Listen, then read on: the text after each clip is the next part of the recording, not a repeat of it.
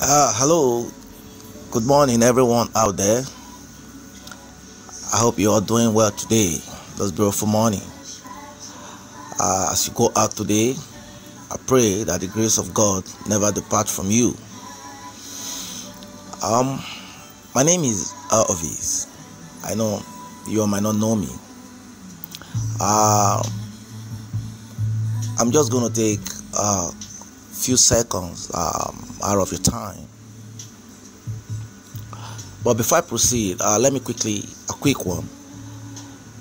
Um, if you are just out there and you feel like you have no one to talk to, like you're bothered, man, you wish you had someone to talk to. Yeah, because I have uh, found myself in a situation before where I feel like I wish I had someone to talk to Sunday. You know, it's not like talking to someone is actually um, going to have your problem solved, but it has a way of relieving you. You know, so if you are there, you know, be it emotional matter, whatever it is, I just want you to know that you have someone you can talk to now. You can reach me privately on my email, Elvis for real 74 at gmail.com. Elvis for real 74 at gmail.com. Uh, thank you as you do. I just want to say a few things um, that kind of bother me, you know, bothers me, you know, like um, how sometimes um, Eh, you know most homes are being run in Nigeria, another part of the world, and wherever you are. Eh, you know, but I want to talk precisely about Nigeria. You know, I found out that most homes are being run like an office, where the only thing that truly matters is the growth of the office. I used to say individual interests are inconsequential, you know what I'm saying? You see, most homes in this part of the world where I hail from, women interests are inconsequential. Nobody want to hear them out. The woman is always expected to always obey the last order as if they were in the military as the only interest that, is paramount is that of the man of the house or the head of the house, so to say. I am not saying women are perfect on the other hand,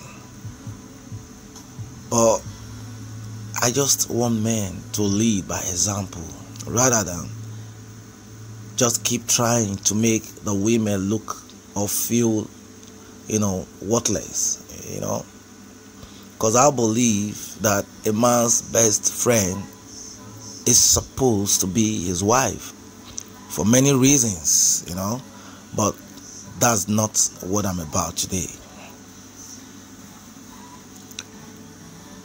You know, there are few things I understand about my kind, you know, things like treating people same way you want to be treated, you know, which leads us to love I just keep asking myself, like, does this man really understand what it is or what it means to treat a woman rightly? Because I don't, and I will never believe that when a woman asks to be treated rightly, she is asking for too much. You know, it's like telling an average Nigerian glamoring for good governance that he or she is asking for too much. Many people these days tend to believe that the reason there are so many broken homes it's as a result of lack of love in a marriage. Well, I totally disagree with such appalling belief. My reason isn't far fetched, you know. You know, talking about love and marriage, I believe that you might need love to sustain a relationship leading to marriage or not. It doesn't matter. But you certainly need more than love to sustain marriage. And I believe that the major key to, to stay and remain in love in marriage is friendship. Friendship is what it is. Because when you have friendship, it paves way for sacrifices. That, and sacrifices brings about loyalty. And by these, you can do all things in an old marriage as if the marriage it was just a day old or it's just a day old, you know what I'm saying? But when you run your homes like an office, you are never going to have what it takes to have friendship in your marriage. When I look around me these days, you know, what I can see is a war of no love for mankind, but much love for material things.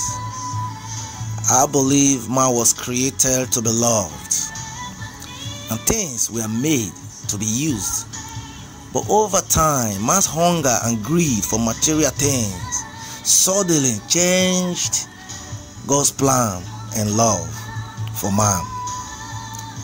As that which was created to be loved are now being used to acquire that which was made to be used.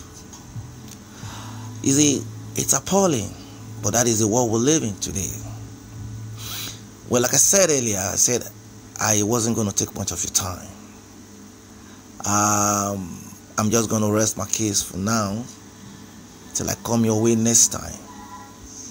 Remain blessed stay safe. I remain Elvis. God bless you. A pleasant day ahead is my wish for you. Bye bye for now.